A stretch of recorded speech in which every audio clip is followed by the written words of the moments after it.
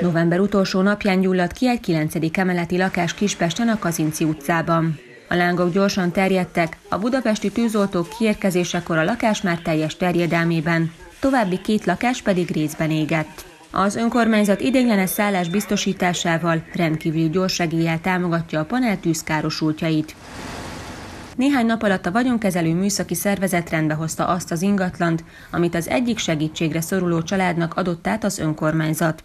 Ezt a Korvin körúti lakást tekintette meg Gajda Péter polgármester, Vincek György és Varga Attila alpolgármesterekkel. Az elmúlt években is, amikor ilyen sajnálatos események történtek, teljesen természetes volt, hogy az önkormányzat segített hasonló módon ideiglenes lakás, illetve szállás biztosításával, valamint gyors segéllyel, pénzügyi segéllyel. Ez most is így van.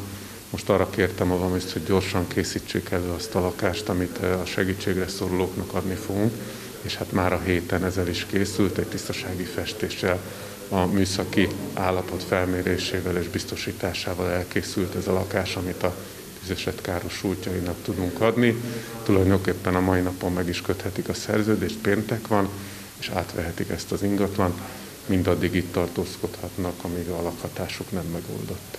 A tűz keletkezési okait a Fővárosi Katasztrófavédelmi Igazgatóság vizsgálja. Mi úgy tudjuk a katasztrófa védelmi kollégák jelentése alapján, hogy egy gyertya okozta a tüzet, egy idős bácsi gyújtotta ezt a gyertyát, ezért is szerettük volna még azon túl, hogy segítséget nyújtunk, felhívni a figyelmet arra, hogy különösen ilyenkor karácsony közelettével az adventi időszakban nagyon fontos, hogy ne hagyjunk égve nyílt lángot, figyeljünk oda azokra az eszközökre, amelyekkel esetleg ilyen tragédiákat okozhatunk, próbáljuk ezeket megelőzni. A keletkezett tűzben és az oltás során az emeleten négy, az eddigi visszajelzések alapján a nyolcadikon és a hetediken további egy-egy lakásban keletkezett jelentősebb kár.